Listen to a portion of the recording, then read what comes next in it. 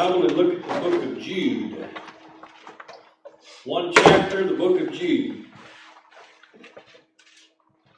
Somebody asked me when we were going to finish Jude. And I have no idea. 25 verses, and sometimes it takes a little bit to get all, in, all of that in. And I think we've gotten down to about six verses, and we've been here about three weeks.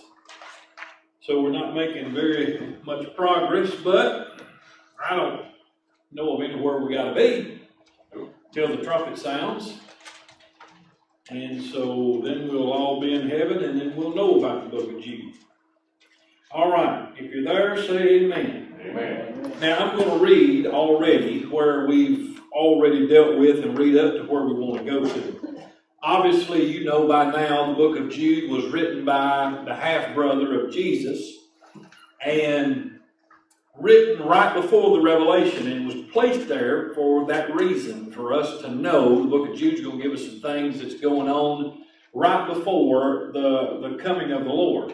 And so we've already seen some of this. And Jude, when he starts out, he starts out, he really talks about uh, being uh, uh, preserved in Jesus Christ and sanctified by God and all that kind of thing. And then it's almost like he stops and says, I would really love to finish that sermon, but I have need to tell you that we in these last days have to contend for the faith.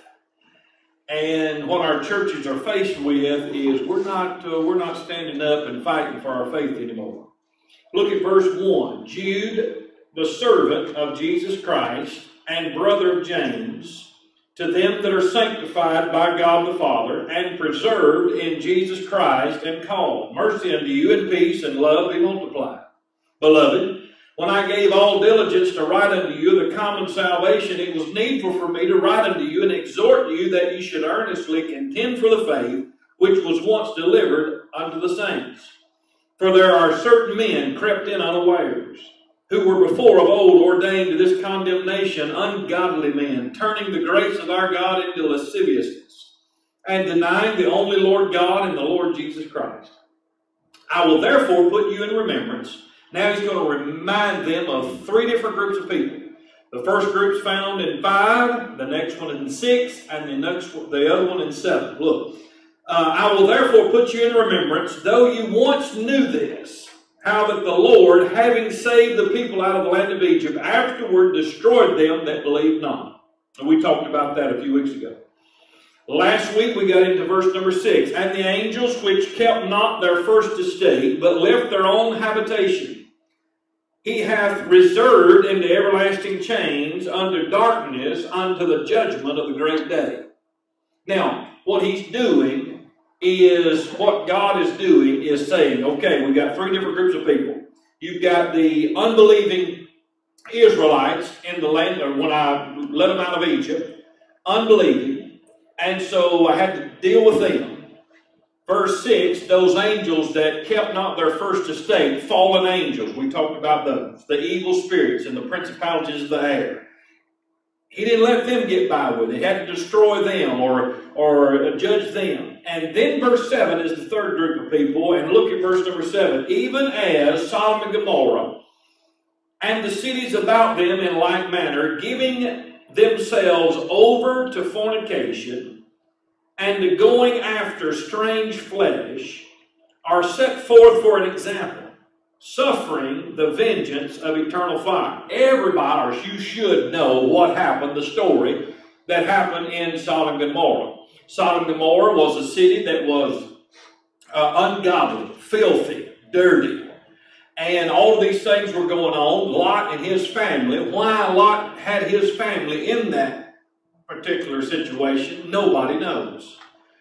But the, the angel of the Lord and two others came down, uh, angels, men, that came down and said, Lot, you need to get you and your family, get out of here because God's fixing to burn this place to the ground.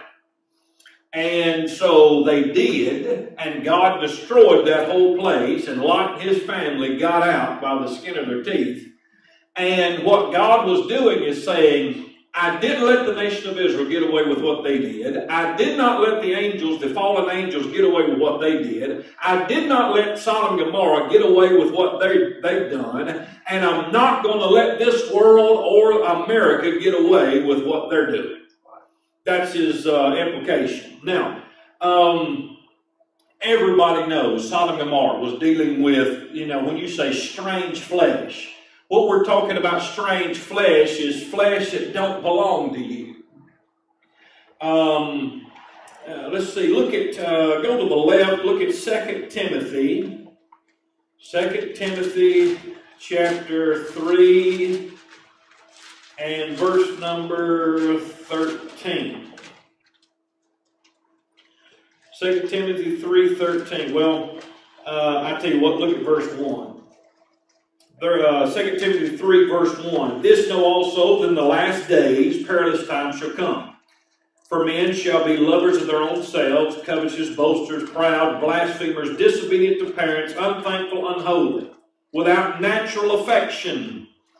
Now, without natural affection, we explain that, and without natural affection, it's not natural.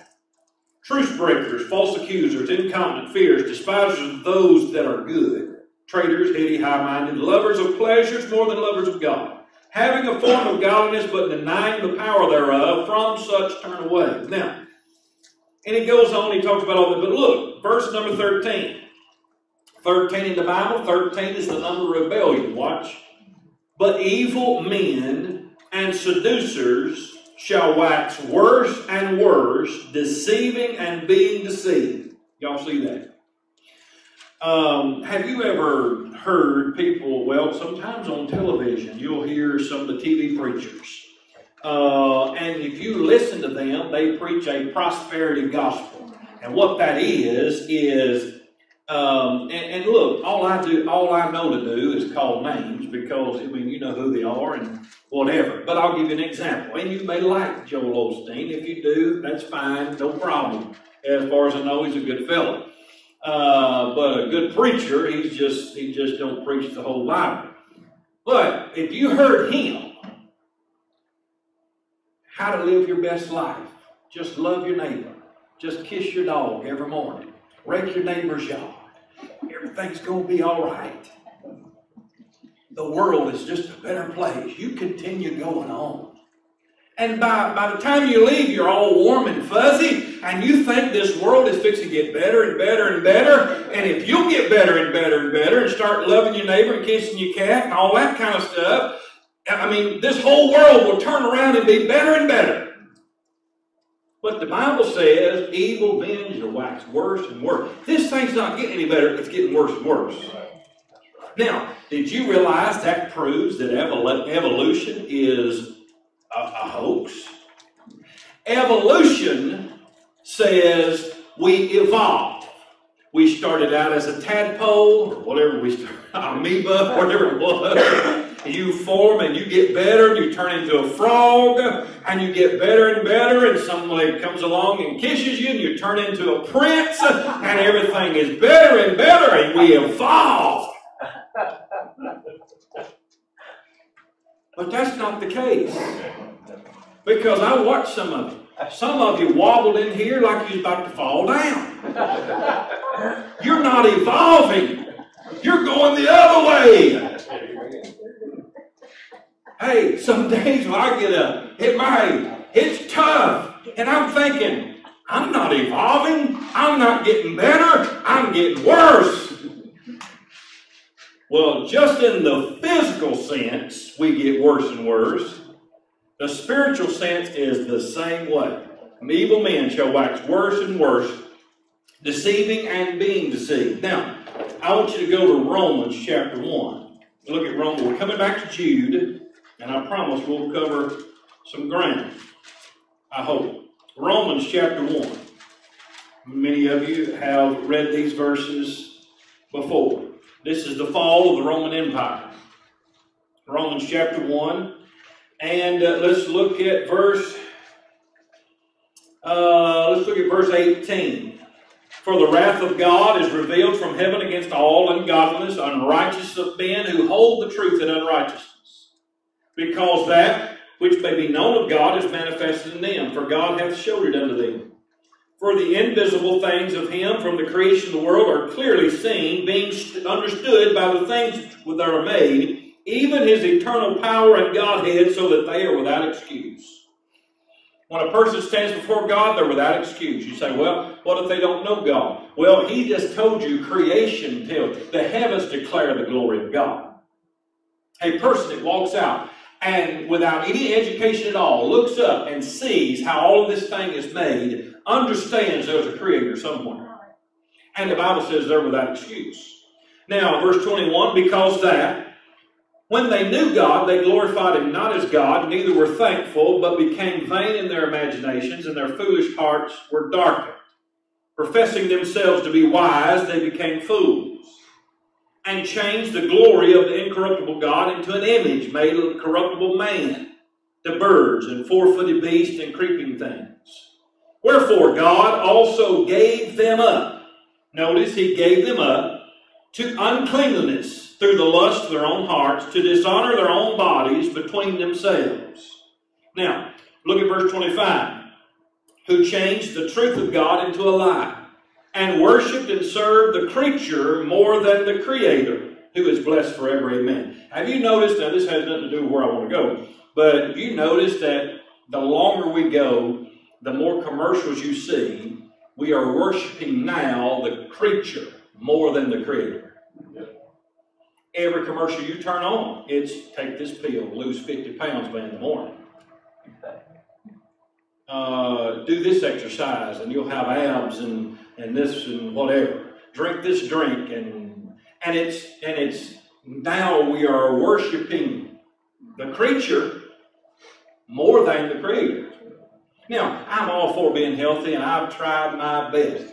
Uh, my dad got on to me so many times, and I, I, I just, um, and finally I woke up one day and realized I wasn't getting any younger. And uh, for all the stuff I made fun of him, of him about, I find myself doing. Uh, some of the stuff, not all the stuff. he had a juicer. He would juice up stuff and drink stuff, and I wouldn't. I just, I'm, I'm not there yet. I ain't old enough yet. Um, but he was all into that stuff. And I find myself doing that. And that's all well and good to be healthy.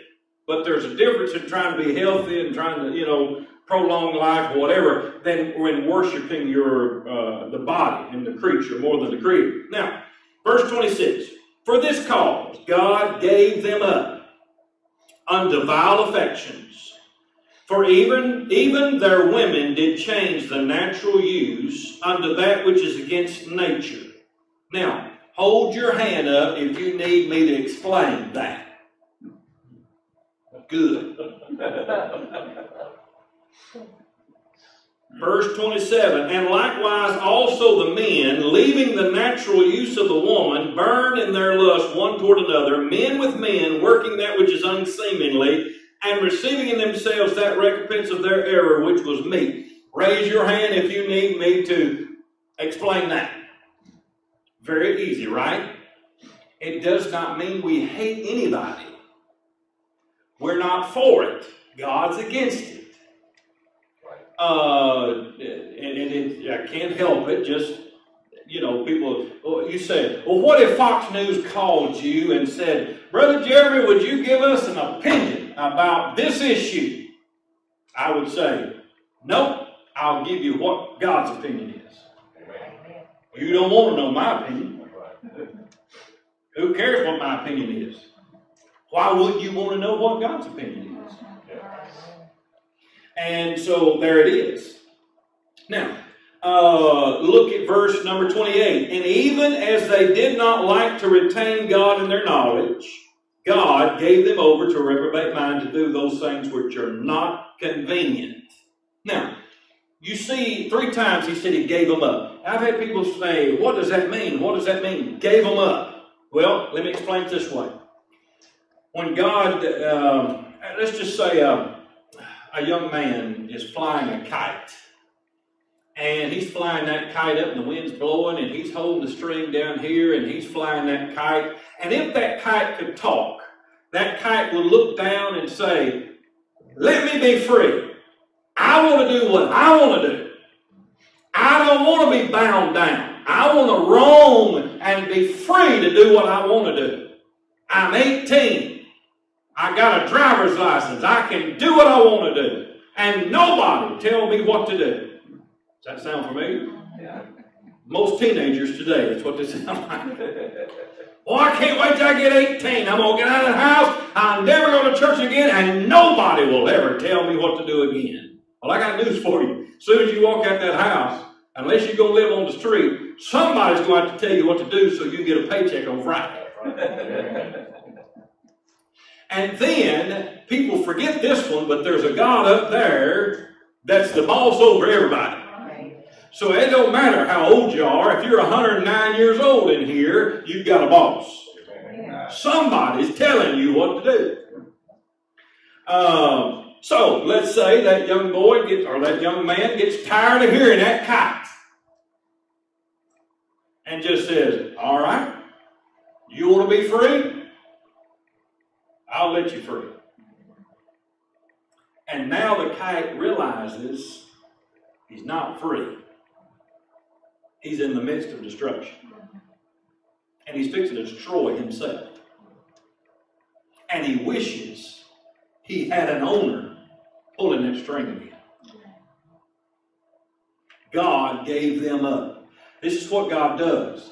Sometimes we uh, they, they continue to do and continue to do that which is not seemingly, those things that are against nature. And finally God says, okay, you don't want me involved? You don't want me holding holding the, holding the kite anymore? That's fine. I'll give you up. And what happens is a country will fly down to destruction. We don't realize sometimes the guardrails that are out there on the curve on the highway, they're not there for to aggravate us they're there to keep us from going over the edge. Boundaries are there for a reason. You have to have boundaries in your home. You have to have boundaries in your church. You have to have boundaries or people will go off the edge. You have to have somebody holding the kite or the kite's going to fall and go to destruction. We live in an age where everybody wants to do what they want to do, me. I want to do what I want to do, and nobody's going to tell me what to do, and I want to be free. I have rights. I have a right to health care. I have a right to a free cell phone. I have a right. I have a right. And you know what? After you really read the Bible and look, we only have one right, and that is to do what is right and to do what God says. That kite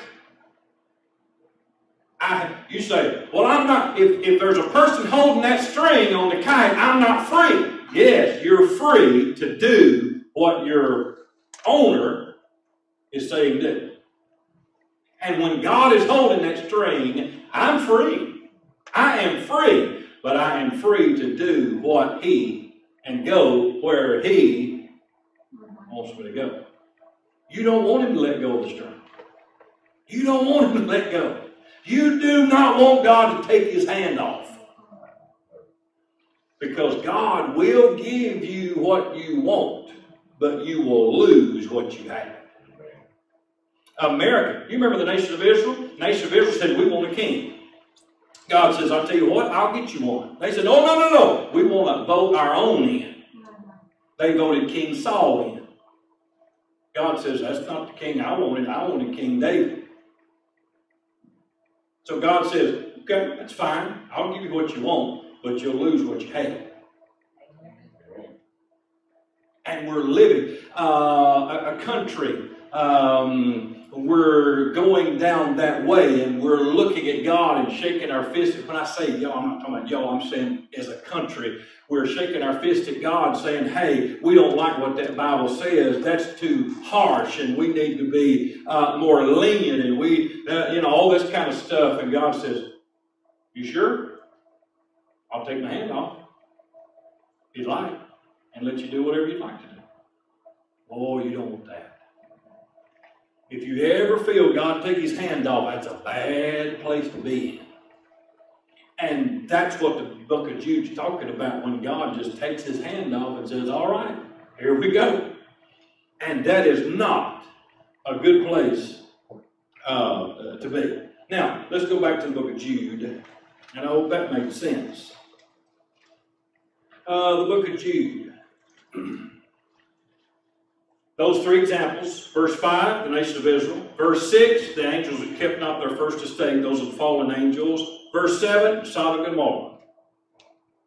Now, verse uh, number 8. Likewise, also these filthy dreamers. All right, these filthy dreamers, they do three things defile the flesh, despise dominion, and speak evil of dignities. Those are the three things that filthy dreamers. Filthy dreamers is, y'all remember a few Wednesday nights back, we dealt with um, casting down imaginations, the strongholds of the mind. Well, what happens is the devil, hey, we're all, most of us are all adults in here. Think about this. The devil knows exactly when to turn a certain commercial on to get you thinking the wrong one. He knows exactly what commercial to put on and this, that, and the other. And then we start processing in our mind. And it's, um, I'll give you another uh, uh, illustration. Maybe this one will be better. Our, our, the television, and look, I'm not, I got, I don't know how many TVs I have. But I think, I think we need to learn how to get our thumb saved. You may be saved, but a lot of people's thumbs ain't saved.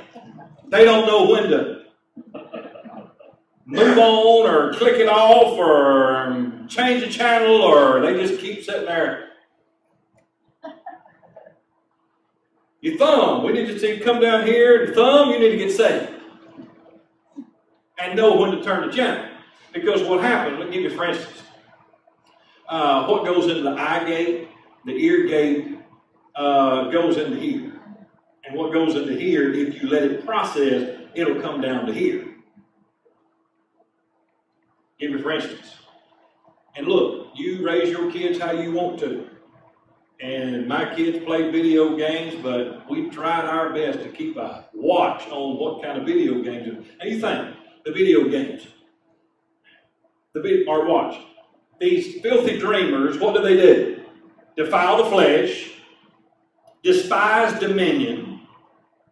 That's uh, anybody that has dominion over you. Uh, a lot of these rap songs talks about killing the popo and killing the police and anybody in dominion.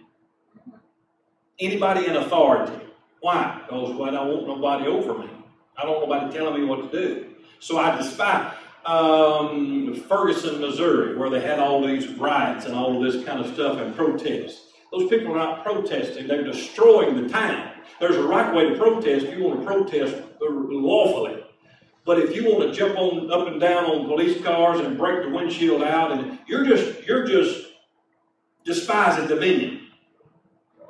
That's what you're doing. You're not trying to protest, you're trying to despise and speak evil, evil of dignities. Um, and so what happens is this kid's playing a video game and he's shooting this one and shooting that and he's shooting this ghost and this alien and whatever, this, that, and the other, and he's shooting and all this kind of stuff. And now they got this virtual reality. You put this helmet on and all this kind of stuff, and it puts you into the game. And so you're there and they play for hours and hours upon end and in the mind. Filthy dreamers in the mind. Now they feel like they're in it.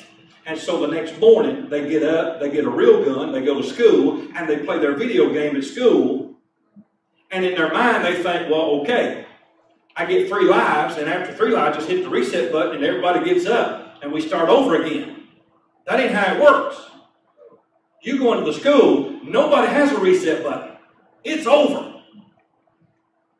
And so the devil, what he does, he puts all of that in the mind, and those kids, uh, and young people, whoever they are. I'm talking about there's grown people that, that play all that stuff. And they go into the movie theater, they go into school, or Walmart, And they're, and they're saying, well, it's just a video game to me. I do this all day. And they're killing innocent people. Uh, and what has happened, it come into here, and then it went down to here, and they played it out in reality. And there is no reset button, there is no restart on the game. And it's what we're dealing with. Are, are, do you see ourselves in the book of Jude? Right before the revelation? Everything we've talked about already, we're dealing with as a nation. Um, uh, despite, defile the flesh. Um, despise dominion, anything in authority. Speaking evil of dignities. Now you say, who are dignities? Those whom honor is due. I'll give you, I'll give you, for instance, Ephesians chapter 6. Uh, children, obey your parents in the Lord, for this is right. Honor your father and mother. Father and mother is a dignity that must be honored and respected and not despised. Now we're living in a day where children are, are uh, di- divorcing their own parents. Speaking evil of dignities, their own parents. And that's just one. Um, there's many, many whom honor is due in the Bible. But the, the, the home, the parents are, are one. Um, and you just, hmm, have you noticed that, and we've already talked about rioting and all that kind of thing, have you noticed that every time you turn on the news, somebody is despising dignities? Somebody don't like, give you for instance, they have uh, the pastor at First Baptist Church, Dallas, uh, Robert Jeffress. He pastors First Baptist Church in Dallas, and uh, W.A. Criswell used to pastor that church. Great, used to be great church, and, and Robert Jeffress is a from what I know and what I've heard him say, but they'll have him, they'll call him in on Fox News uh, to talk about this issue or that issue or whatever, and he don't let nobody by with nothing. He quotes them scriptures and tells them this, that, and the other, and then the whole purpose is is for the other side. They don't have anything to back up their side. The only thing they can do is tear down a dignity. You say, well, he's not a dignity. Yeah, uh, 1 Timothy 5 17. A pastor's worthy of double honor.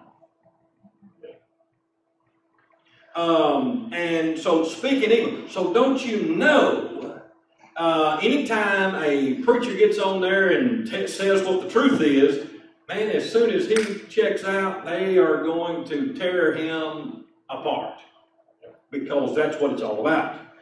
Um, despising dominion and speaking evil of dignities. Let me see. I've got 2 Peter 2 wrote down for some reason, and I don't remember what it says. Hang on. 2 Peter chapter 2 and verse number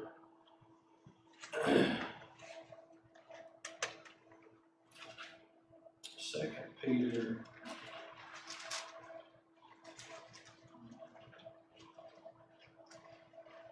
Oh yeah. Um, Second Peter 2.10 but chiefly them that walk after the flesh in the lust of uncleanness, and despise government, presumptuous of they, self willed, they are not afraid to speak evil of dignities. There it is again in 2 Peter 2 and verse 10. Um, so, anyway, these filthy dreamers, you have defiling the flesh, you have despising dominion, you have speaking evil of the dignities. Now, let's look at verse number 9 and let's uh, deal with this, and maybe that'll be our time. Yet, Michael the archangel, which contending, or excuse me, when contending with the devil, he disputed about the body of Moses, durst not bring against him a railing accusation, but said, The Lord rebuke thee. Now, notice in verse number 9, Michael is an archangel. Gabriel is an archangel. Um, I know you already know this when we dealt with verse number 6. Uh, Lucifer the devil, used to be in heaven. He was the anointed cherub that covered. He covered the throne of God. Underneath Lucifer was your archangels. You had Michael and Gabriel. That's the only two that's mentioned. There's probably more, but those are the only two that's mentioned in in uh, in the scriptures. Michael and Gabriel. Um, and you have to think how much power these angels have. We'll have to do an extensive study on, on angels at this point, but I'll tell you this in the Old Testament, I'm not talking about an archangel. The angels are classified like the military. You got privates, you got um, uh, you know captains, and you got ranks. So you got your regular angels, angels, you've got your arch, uh, archangels, and then you've got cherubims, seraphims, and all of that. And then at that one point, you had that anointed cherub that covereth, which was Lucifer, all in that chain of command. The underworld is the same way. Ephesians 6 talks about the principalities of the air, uh, rulers of darknesses and, and, and wicked places, and, and all that kind of stuff. They have chain of command in, in the demon world, the fallen angel world. Uh, so Michael, and let's just say a, a regular angel, just a regular private angel in the Old Testament, slew 186,000 men with one swipe. Left them, I mean, cold, dead as a doornail. 186,000, one regular angel. So when you move up, and now we're talking about an archangel, uh, Michael was a, a warrior. He was an archangel that, uh, matter of fact, uh, just something about Michael the archangel, if you want to read sometime over in Daniel chapter number 10, I believe it was, Daniel was having trouble getting his prayers through, prayers answered and he couldn't get a prayer. He couldn't get a prayer through for 20, I forgot how many days, but he couldn't get a prayer through. So Michael, the archangel, came. Remember I told you, the evil, the, the underworld, the um, uh, fallen angels, they are the prince of powers. They're not in hell, they're the prince of powers of the air. So every time you pray, guess what you're having to pray through before you get up to God?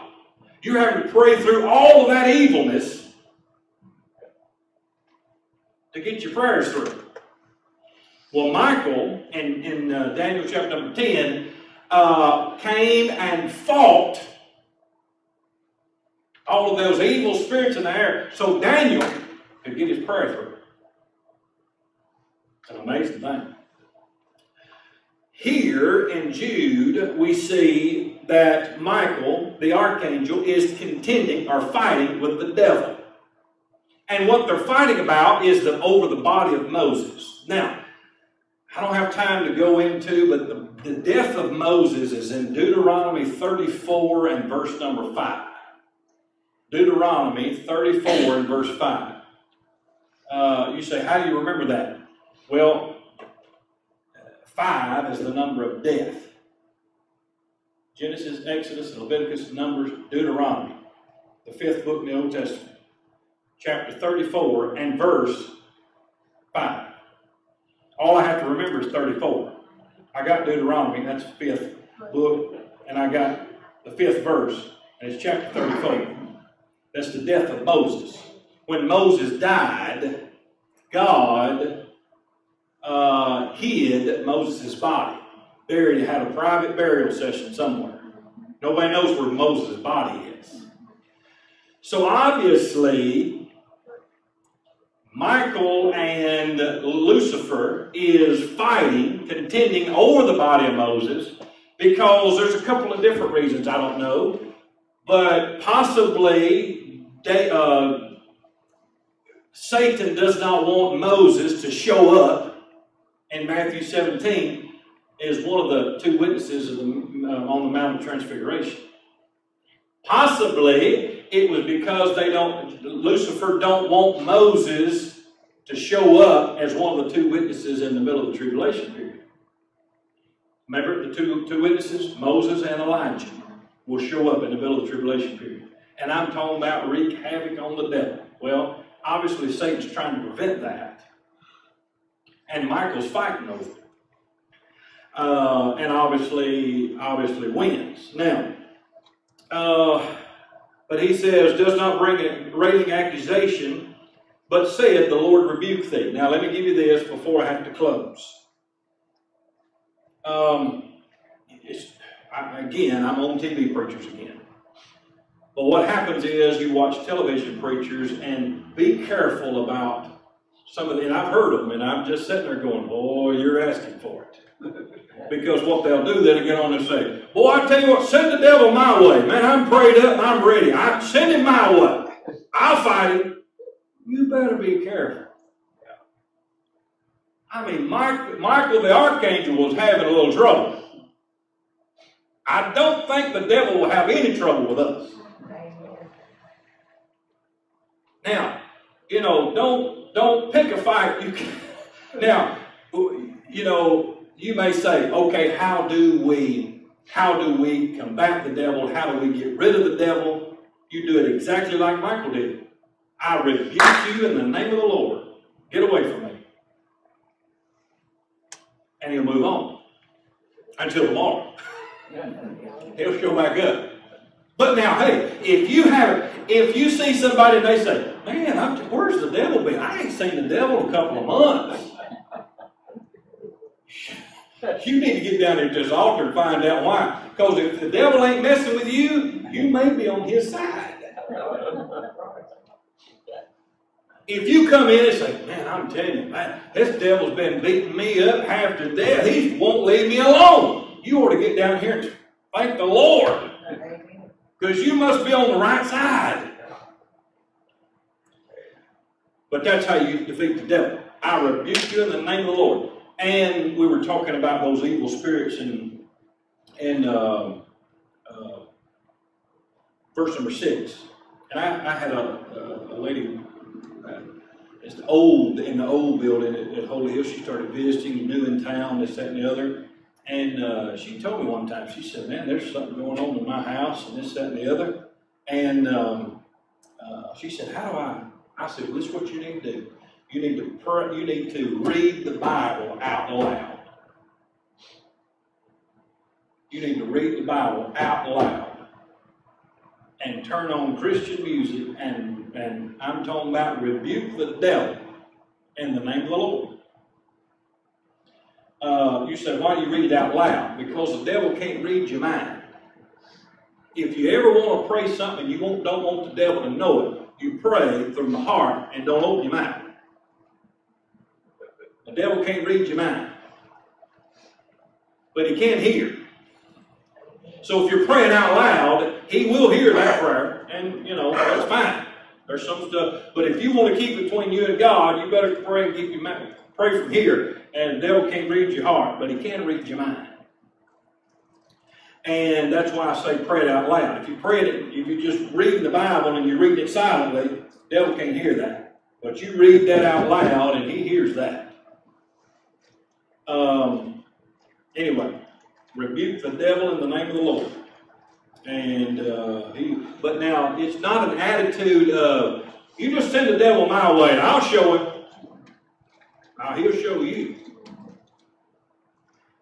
Um, be careful. But when you take when you take your heavenly Father with you, that's different. When you rebuke in the name of the Lord, that's my daddy. And there's where the devil has trouble. He can't combat that. But if you try to take him on yourself, he won't have no trouble and and be and be and and please take note of this and beware. When you hear something that you know whatever it is, oh, I have to watch this because whatever you hear, whatever you see, and this, that, and the other, we see a lot of stuff. And I've heard, and I've even made the mistake and said it myself. Well, I I will never be caught in that. I would never do that. the devil's listening. And he'll say, okay, we'll see.